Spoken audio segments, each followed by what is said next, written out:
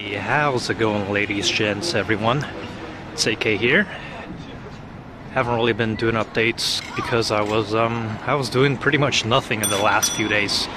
So today I decided to take a quick stroll around the neighborhood.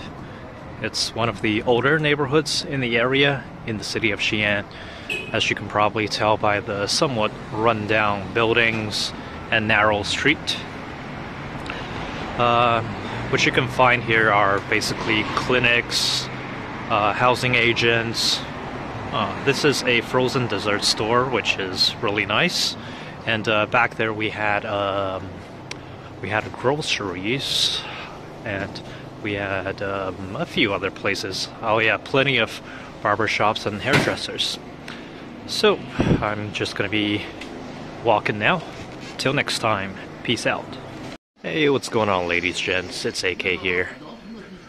Um, just a quick note on how trash is sorted in China, at least in Xi'an at this point.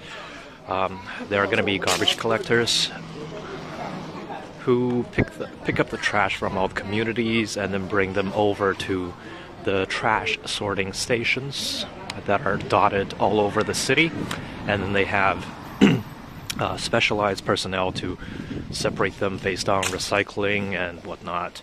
And uh, generally, the people who pick up trash use these kinds of transportation vehicles. Um, I don't even know how would you how you would describe these, but yeah, that's ge- generally how it's done. At least in Xi'an. Now, in other cities, the task has been diverted to the local residents. And that's all for now. Till next time, signing out.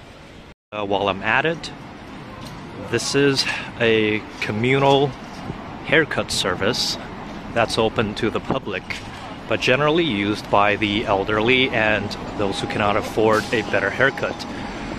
Many of these people are volunteers, but they do charge a very modest fee that's around a dollar to two dollars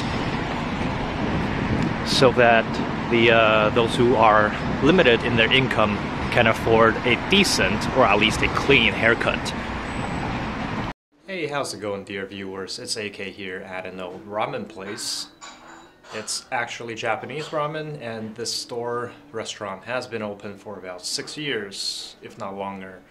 Um, it's probably the first ramen place that I visited in all of Xi'an, and um, I've been a frequent customer ever since my first visit.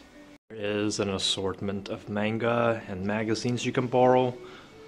All kinds of uh, Japanese imported stuff, like alcohol and, uh, of course, beer stuff, soft drinks. It's located in the middle of uh, an apartment complex, and that's the menu. Due to my own dietary restrictions, I only got the chicken noodle soup with eggs instead of chashu. The owner is a real bro and he's helped me out on numerous occasions, but that's all for now. Till next time, AK signing out.